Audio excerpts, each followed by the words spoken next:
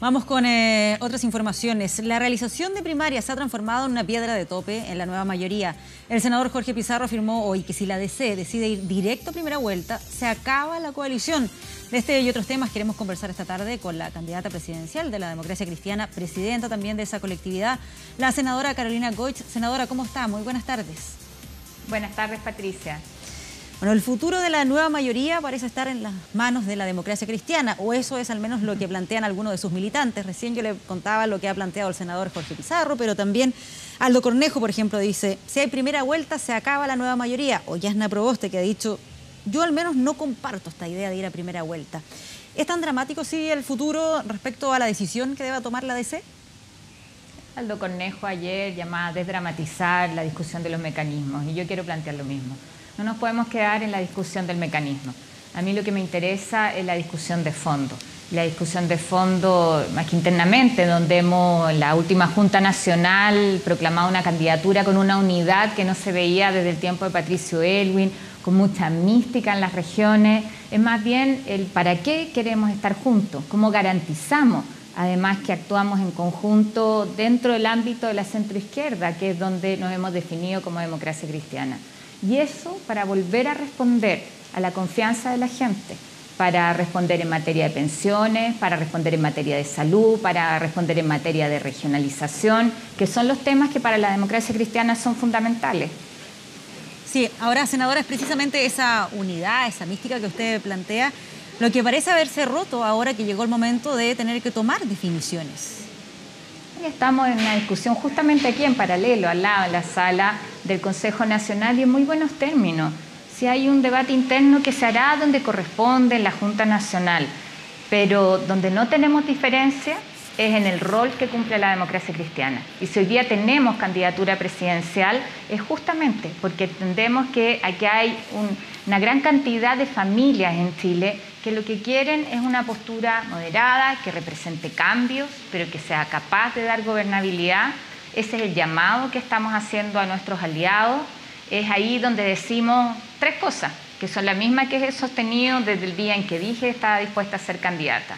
Cómo somos capaces de tener un marco programático, un acuerdo parlamentario que dé sustento, por supuesto, a un gobierno con el respaldo de los votos en el Parlamento, pero además un acuerdo de comportamiento interno lo que no puede pasar es lo que vimos la semana pasada, que un partido de gobierno deja caer uno de los principales proyectos, me refiero en materia de educación, o cómo somos capaces hoy día, que tenemos una muy buena noticia, que al fin el gobierno envía el proyecto para la elección de gobernadores regionales. Los actuales intendentes en las regiones van a ser electos por la gente.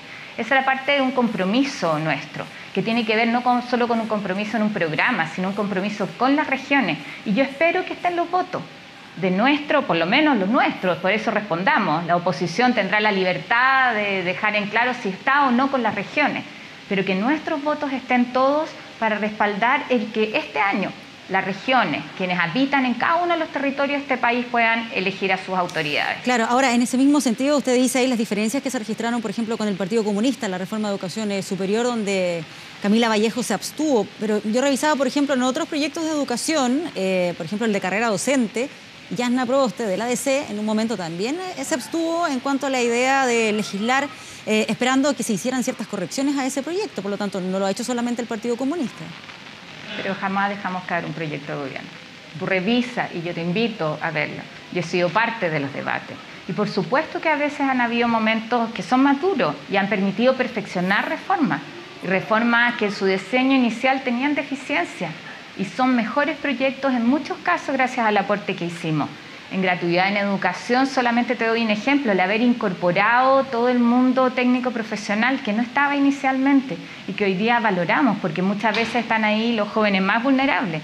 Y nosotros decimos además, en un próximo gobierno tenemos que preocuparnos de aquellos que no estudian ni trabajan, que todavía no son incorporados a la reforma educacional que estamos haciendo.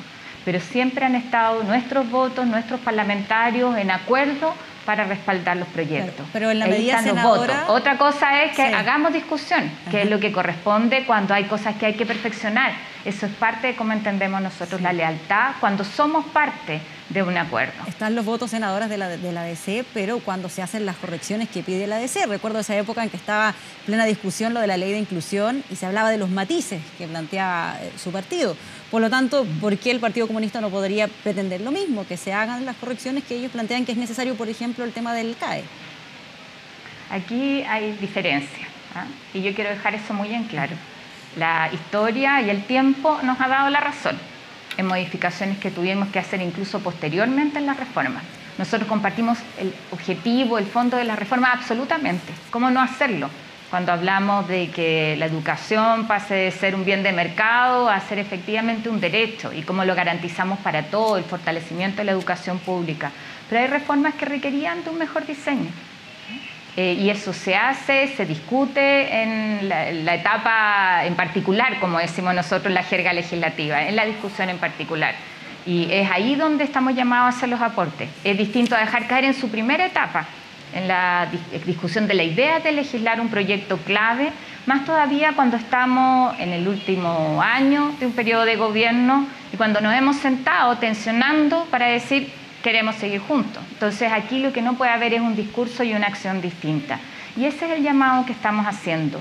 No puede ser que nos pase, Patricia, de nuevo, que por ejemplo en materia de ley de ISAPRE no fuimos capaces de hacer una reforma que era necesaria para la gente que hoy día está presa de su preexistencia en la más vida, como si fuera un pecado enfermarse, cuando lo que tenemos que hacer es dar respuesta en cambios que están más que claro que hay que hacer en materia de ley de ISAPRE y ahí ha sido más bien una lógica de izquierda, más ideologizada, que no nos ha dejado avanzar.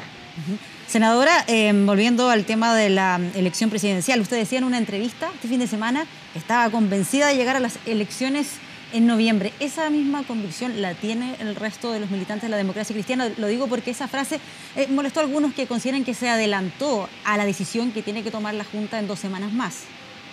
Me parece que en tiempos en que vivimos con mayor transparencia, es importante que uno plantee su postura, que lo haga como candidata, en términos personales, independiente de que la instancia donde se hace el debate interno y se zanja es la Junta Nacional. Así lo señalo también en la misma entrevista. Pero aquí lo que nos corresponde es liderar el proceso. Y parte de eso es, es más bien el tema de fondo que está detrás de mi convicción. Nosotros habíamos planteado, y yo misma, la disposición y el interés de ir a primaria bajo esas tres condiciones que tenían que ver con un marco programático, el marco de acuerdo parlamentario y el comportamiento político, dar garantías de gobernabilidad. Y esa es una discusión que está pendiente con los aliados. Y yo la invitación que hago desde el espacio político de la centroizquierda, reconociendo que además aquí, si yo soy candidata, es para gobernar y eso requiere construir mayorías que nos sentemos a la mesa, veamos cuáles son los lineamientos que compartimos, volvamos a retomar además la discusión que a la gente les interesa. Si yo te garantizo que cada vez que hablamos de mecanismos mucha gente cambia el canal, porque poco tiene que ver con lo que le pasa hoy día en su barrio, con cómo mejora su pensión, con cómo mejora la posibilidad de tener la atención del especialista o cómo fortalecemos el crecimiento económico garantizando a la gente que vamos a cuidar su pega, que efectivamente va a tener trabajo.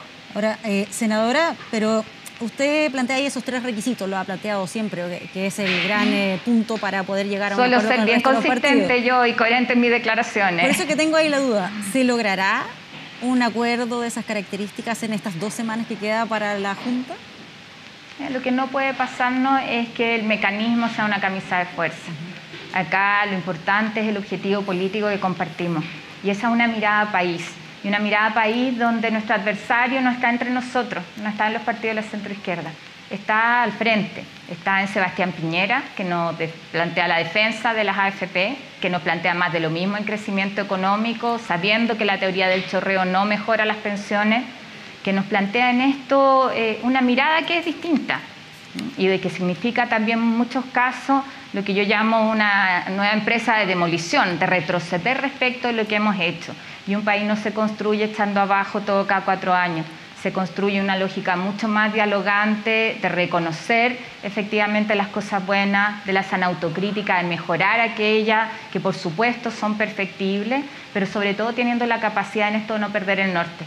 Hay en esto mucha gente que se queda en la casa con justa razón, cuando nos ven trampados en discusiones, en divisiones y no preocupándonos de los temas concretos Y por eso yo digo, primera ley, ley del cáncer, uno de los temas que más preocupa a los chilenos, nuestra propuesta de envejecimiento, el cómo nos hacemos cargo de los adultos mayores que hoy día están solos y cómo avanzamos, te insisto, en materias de crecimiento, pero un crecimiento inclusivo. Sí, senadora, pero permita que insista en este punto, porque la verdad es que ahora hemos visto críticas que no la habíamos visto las semanas anteriores, cuando le menciono ahí lo del senador Pizarro, Aldo Cornejo o Yasna Proboste. Eh, ¿Qué es lo que cambió en este momento en que hay que tomar eh, definiciones? ¿Es que tal vez algunos de ellos, algunos militantes de la DC, veían su candidatura como algo más bien testimonial y que ahora que llegó el momento de decidir no están tan convencidos de aquello? ¿O inciden también los cálculos eh, de las elecciones parlamentarias, al tener que llegar ahí a un acuerdo con los otros partidos en ese sentido? Yo creo en esto que uno no puede perder la convicción en política. a mí me preguntaban por algunas encuestas estos días y aquí no nos vamos a dejar pautear por encuestas, ni tampoco esta es una candidatura para negociar. Y no lo digo en términos personales, lo digo detrás de un colectivo que tiene historia, que ha sido capaz de entregar grandes gobiernos a este, este país. En la mañana íbamos con Rosa María Payá y Mariana Elwin a la tumba, al mausoleo de Patricio Elwin, en un gesto reconociendo lo que él hizo en materia de derechos humanos, y también Osvaldo Payá, que es un activista que falleció en Cuba defendiendo los derechos humanos y nos dice esa historia y sobre todo eh, lo que hemos demostrado en términos de gobernabilidad y de representar cambios profundos que ponen al centro a las personas es lo que la democracia cristiana va a aportar. Eso significa nuestra candidatura. Así que con fuerza, con convicción, reconociendo además la diversidad de nuestro territorio y eso lo queremos hacer en una alianza de centro-izquierda que sea más sólida, que sea más contundente, que dé garantías de gobernabilidad. Ahora, eh, ¿cuánto pesa ahí el interés de los parlamentarios o de los aspirantes al Parlamento? Lo digo considerando un elemento que usted planteaba de las encuestas, porque tal vez haya más de alguno sacando el cálculo electoral de ver con quién me conviene más aparecer más en la foto en este periodo de campaña, con quién está marcando más, que hasta ahora es Alejandro Guillé, o con la candidata de mi partido. Esto le hace muy mal a la política, a la calculadora o el pauteo, te insisto, de las encuestas. Yo creo que la gente cuando espera mejor política también es la vuelta a la convicción, a ser capaz de liderar proceso. Y en esto hay un debate, por supuesto, electoral, que, te insisto, es parte de las tres condiciones, jamás lo hemos escondido, siempre ha estado sobre la mesa y que yo espero que lo hagamos con la altura de mira demostrando en esto que estamos eh, en condiciones de responder a lo que la gente está esperando de nosotros. Hay debates internos que son legítimos, así lo hemos enfrentado y en distintos temas.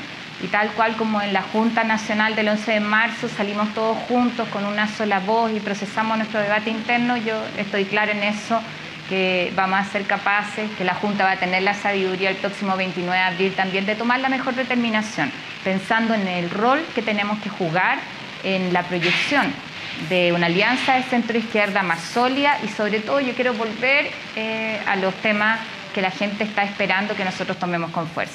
Claro, dentro de esa determinación de la Junta en dos semanas más, está la alternativa de ir con la candidatura presidencial a primera vuelta y también ir con una lista parlamentaria única, es decir, sin los otros partidos de la nueva mayoría en esto sin duda hay una conversación, y una conversación que se está dando durante estos días, nos hemos sentado la semana pasada con el PPD y que yo quiero destacar además ese encuentro, porque lo primero que hicieron fue entregarnos el programa que fue elaborado y encabezado por el presidente Ricardo Lagos, que creo que es un tremendo aporte que él hizo desde su candidatura.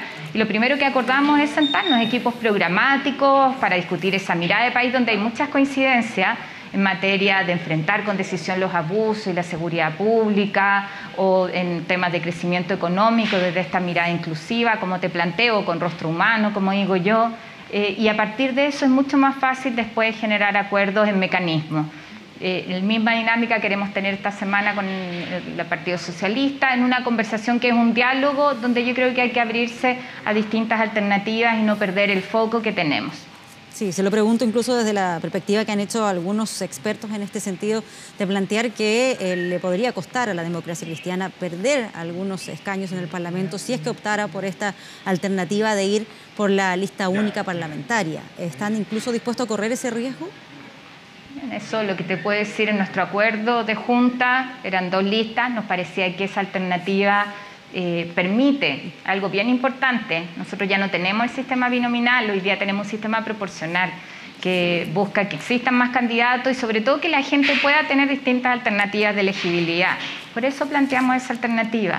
Pero es una discusión que por supuesto tenemos que dar, pero en el marco de un rayado de cancha que compartimos, que eso es lo más importante, que nos garantice, te insisto, que siendo gobierno vamos a tener el respaldo y que no nos vamos a inmovilizar frente a temas donde tenemos que responder a la gente. Y esos eventuales escenarios que se puedan dar incluye también tal vez el poder hacer una lista parlamentaria con el PPD, que se ha quedado sin candidato, por eso le pregunto. Ahí hay una discusión que estamos dando, yo no voy a anticipar porque además, como te digo, creo que lo central hoy día no es si es una lista con uno, con otro, son dos listas, es cómo nosotros somos capaces de dar sustento en una alianza de centro-izquierda dentro del Parlamento y buscando la mejor representación. Ese tiene que ser nuestro objetivo. Hay técnicos electorales que hacen eh, ahí simulaciones en un escenario que es incierto. Es incierto, es con un nuevo sistema, pero donde lo fundamental es cómo nosotros somos capaces de recuperar la confianza de la gente, de que esa señora que quizás ahora está viéndonos en su casa y dice en realidad yo no fui a votar la última vez porque lo que discuten no tiene mucho que ver conmigo. Yo quiero que me hablen efectivamente de cómo mejora la situación en mi barrio, de cómo voy a tener acceso a tratar una enfermedad y que eso no sea la debacle para la familia, o cómo algo que para mí es muy importante, concilia mejor tu vida laboral y tu vida familiar. Volvemos a los temas cotidianos. Yo creo que eso es lo, fundamental. Y ahí, por supuesto, el debate interno necesario, pero un trabajo muy unitario hacia afuera. Sí, para cerrar este punto, eh, senadora, ¿qué le diría a aquellos que no están tan convencidos, militantes de la ADC, que no están tan convencidos con esta idea del camino propio, de llegar directo a la primera vuelta, que sienten que la democracia cristiana puede quedar aislada del resto de la centroizquierda? ¿Cuál sería su mensaje para, para aquellos? No vamos a actuar ni desde el temor, ni desde el arrinconamiento. Yo veo a otros que son los que están arrinconados más bien en la lógica de una ley de izquierda en la coalición eh, después señalar que en esto calma, calma, hay un escenario absolutamente abierto que no sé, yo creo que jamás habíamos visto que una semana a otra quizá nadie hubiera podido anticipar el escenario que había. Yo creo que en esto se requiere conducción, se requiere el timón firme, eso lo voy a hacer yo como candidata, no tengo ninguna duda, si no, no estaría disponible para esta tarea. Y además señalar con mucha claridad que nosotros descartamos el camino propio. Ese fue parte del acuerdo de la instancia máxima de este partido. Entonces, cuando escuchamos algunas voces, creo que eso es muy importante diferenciarla de la determinación oficial, que es el camino de construir mayorías, pero hacerlo sobre bases sólidas que den garantías a la gente de un buen gobierno. Sí, y aprovechar también de preguntarle por un tema más bien judicial, pero que ha tenido repercusiones políticas, que dice relación con esta decisión del Servicio de Impuestos Internos de no presentar más querellas en aquellos casos en los cuales eh, podía existir em, financiamiento irregular de la política. Eh, ¿Qué le parece a usted esa determinación del Servicio de Impuestos Internos? Yo no la comparto no la comparto. Creo que el impacto que han tenido, las situaciones que se han conocido, pero además porque lesiona la confianza, porque en una situación probable delito eh, tributario, ahí es necesario que nosotros revisemos nuestra legislación, que el Ministerio Público tenga las atribuciones, pero sobre todo de dar señales muy claras de que hay situaciones que no se van a volver a repetir en nuestro país. Nosotros cambiamos además nuestra legislación.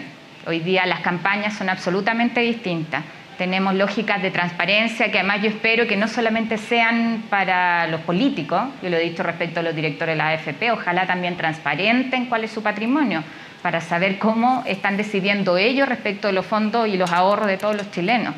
Pero creo que en esto hay una ruta que tiene que ver con transparencia y que tiene que ver con sanciones acorde a situaciones que lesionan la confianza en la fe pública. Sí, senadora, ¿se debiera legislar para que no sea facultad exclusiva del Servicio de Impuestos Internos el presentar estas querellas? Yo soy, yo soy partidaria de que se legisle en esa materia. Perfecto. Senadora Carolina Goich, candidata presidencial de la DC, muchísimas gracias por esta entrevista. Muchas gracias, buenas tardes. Buenas tardes.